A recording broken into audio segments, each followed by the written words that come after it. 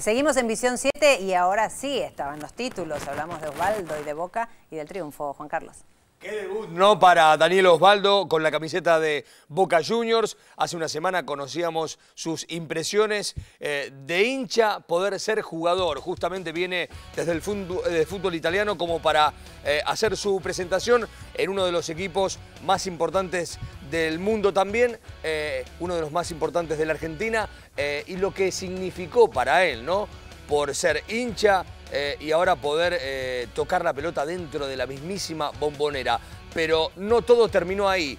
Hizo debut y además pudo con gol, porque Boca lo empezaba ganando a través del chico Comar, que debió ingresar al campo de juego por el desgarro que sufrió Guillermo Burdizo. Ya había hecho su debut Comar bajo las órdenes de Bianchi en una tarde en la que no le fue bien ante San Lorenzo, pero el tiempo le dio revancha. Rápidamente Wanderers de Montevideo, un equipo ordenado, que juega muy bien con la pelota, pero que obviamente en cuanto a la jerarquía individual es muy eh, poco comparable con lo que puede aportar y lo que preparó Boca para esta temporada, que esta es una realidad, con la infinidad de refuerzos.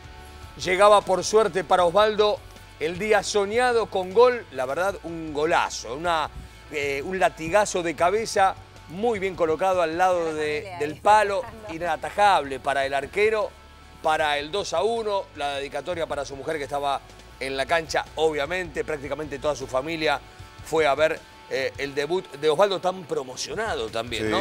Maradona, ¿eh? Estaba la mujer, estaba eh, la ex mujer de Diego Maradona en el mismo palco que su mujer, que Jimena Barón, y lo que fue victoria de Boca eh, un Boca que se va rearmando, que va acomodando sus fichas, incorporó muy bien para esta temporada, sabía de lo que tenía por delante eh, en este año con el campeonato local, con la necesidad de ganar algo eh, después de lo que fue el final de 2014, no el ideal, eliminado por River en la Copa Sudamericana. No, ¿qué año? Ese no me acuerdo. no, no, tanto no, no, no recuerda. Pero que finalmente le están saliendo bien las cosas al Vasco Rabarrena, un hombre con sentido común, que quizá le faltaba ese roce con un club eh, de las pretensiones de Boca Juniors, pero que rápidamente se acomodó. Muchos refuerzos, un Boca que quiere más.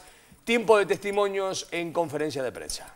Eh, contento por el resultado, contento por, el, funcionamiento en, algunos trámites, algún trámite del partido, pero tenemos que seguir mejorando, tenemos que seguir corrigiendo errores. La parte negativa, bueno, es la, lesión de Guille eh, y, también me pone contento por, por Comar porque respondió en una situación difícil. ¿no? Me conocen, saben que no soy de llegar mucho al gol, así que en el momento por ahí me, sorprendí, decí que me vinieron a, abrazar rápido los compañeros y así que pude sobrellevarlo. Juan Cruz, ¿fue soñado esta segunda presentación tuya con la camiseta de Boca? Sí, bueno, eh, vengo trabajando desde hace mucho tiempo, así que, seguramente que, es lo que esperaba y fue una, una gran noche. Una gran noche, así cerraba.